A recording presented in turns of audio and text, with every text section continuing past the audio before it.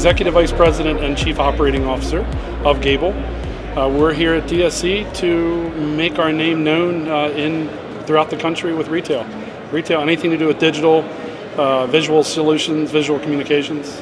One of the advantages Gable offers is that we've been doing this for 37 years and started out when signs were being hand painted. So we've seen the trends, we've seen what's come and gone, we've seen what's worked, what hasn't worked. Uh, 37 years of traditional signs about five years ago really saw the messaging, the writing on the wall that the, uh, we sometimes call it um, the collision course of traditional signs with digital signs, with the audio-visual world, uh, content, creativity, uh, intelligent lighting, all of that is finally converged into one, what we believe is the visual communications industry. We believe we might be the only company here that actually, from truly from the beginning to the end, Gable provides all of that in between. From the initial consulting, ideas, creativity, design, prototyping, mock-ups, manufacturing, blending of traditional sign with digital sign, and lighting, audio-visual. Uh, we have a full manufacturing plant as well. Uh, we, we deploy, we install, we service, we support after sale, we monitor systems. So we truly offer everything from the beginning to the end. So for us, we're, we're, we feel we're pretty, pretty unique company. So the tip, the tip is if you're not going to choose a company such as ours, then there'll be a lot more planning involved to make sure all of the, all of the T's are crossed and I's are dotted because there's a lot of moving parts.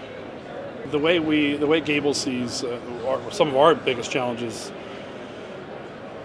things turning into commodity. We're starting to see that already. We're starting to see that companies are trying to box things, make them simpler. Of course, for the consumer, there's benefits to that from keeping the price point low. But from a standpoint of creativity and being different, unique, and telling a story, doesn't allow for all of that. So the more it gets commoditized and the more people begin to buy things out of a box, they'll have a tougher time telling their story. They'll be able to tell everybody else's story, but maybe not their own unique story. I think it's really important for people to, if, if you're to really get in one spot to understand all the emerging technologies, even if you're going to pick and choose from 20 companies to provide that one unique solution, it's still important for people to see it.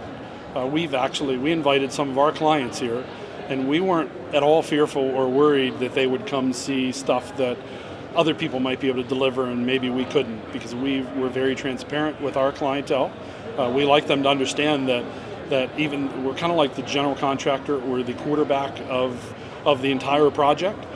It's not all going to be things that are from under our roof. We put it all together.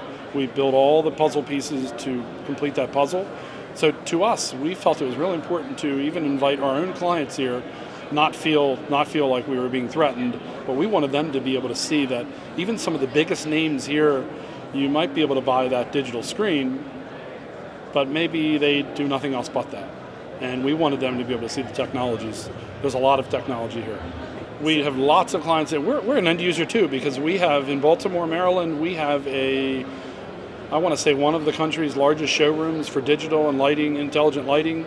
It's around a, uh, if you blend all of it together, including our, our testing, uh, our testing center, we have around 15,000 square foot of showroom space where we are sometimes weekly up, updating the new products and technologies that are available, solutions. So, so we're an end user too. We, we, we try this out. We have a, another corporate office where we have done our best to make sure that we speak and we message who we are trying to be. It, would be tough to bring a client in and not have digital signage, not have a conference room that is fully equipped with all the latest and greatest audiovisual technologies. So it's really important for us. No, number one is getting our brand out there. It was very important to us. We struggled for many years to, even after we made the decision to try to move away from just a traditional static sign company, we struggled for the first two or three years to make that move. So it was really important for us to get here, and have not only our clients but our peers in the industry to see us as a technology company rather than just a static sign company. So that would that what I would say would be one of the greatest benefits of this. Uh, so getting our brand out, uh, but also also meeting a lot of really unique people, visitors, exhibitors. Uh, we've met a lot of people that will, without a doubt, help us to continue to build a great great team. It was real important for us to have unique content that told a great story, and our story uh, really is about how important content is. So we we invested a tremendous amount of time and effort into creating our own content. Uh, we used we used some of our own team members. We had a professional artist come in. We did great makeup, and we did our own uh, video shoots, our own photography. So 99% of the content that you will see in our booth today was self-generated. Uh, we also we even had our own uh, water bucket challenge so we took Courtney and one other person and we dumped water on their heads.